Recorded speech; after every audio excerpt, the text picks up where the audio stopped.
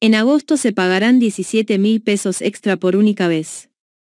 ANSES junto al Ministerio de Desarrollo Social avanzan con los pagos para los beneficiarios de la UH, AUE, jubilados y pensionados, mientras se ultiman los detalles para activar el cronograma de pago de octavo mes del año con anticipos.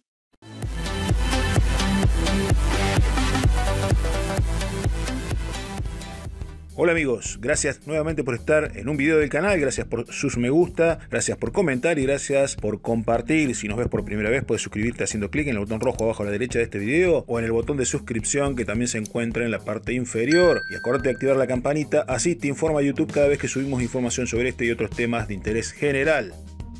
La Administración Nacional de la Seguridad Social, ANSES, junto al Ministerio de Desarrollo Social retoman este martes 20 de julio con el calendario de pago del séptimo mes del año para los titulares de la Asignación Universal por Hijo, AUH, Asignación Universal por Embarazo, AUE, jubilados y pensionados, mientras que ya se anticiparon algunos cobros extra de agosto.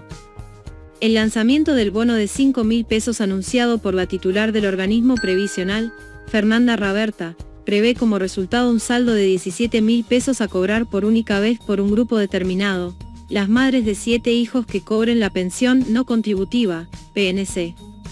La suma extra de 17 mil pesos que cobrarán las beneficiarias de la pensión por madre de siete hijos en agosto se compone del bono de 5 mil pesos para jubilados y pensionados junto con el inicio de la recarga de saldo de la tarjeta alimentar del programa Argentina contra el hambre. Finalmente tenemos el padrón de las madres con siete hijos que son pensionadas con la PNC, y ahora en agosto las incorporaremos a la tarjeta alimentar, anunció el ministro Daniel Arroyo. Así, este grupo verá en sus cuentas bancarias la transferencia de 12 mil pesos, de acuerdo a la última actualización de los valores que tuvo lugar en mayo. El bono de 5 mil pesos se comenzará a pagar a partir del 2 de agosto, mientras que la recarga de saldo de la tarjeta alimentar se inicia todos los tercer viernes de cada mes para quienes cuenten con el plástico, y días posteriores, para quienes perciban el beneficio por transferencia.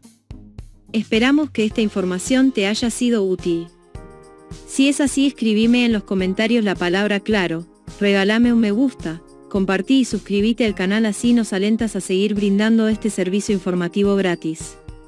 Saludos y muchas gracias.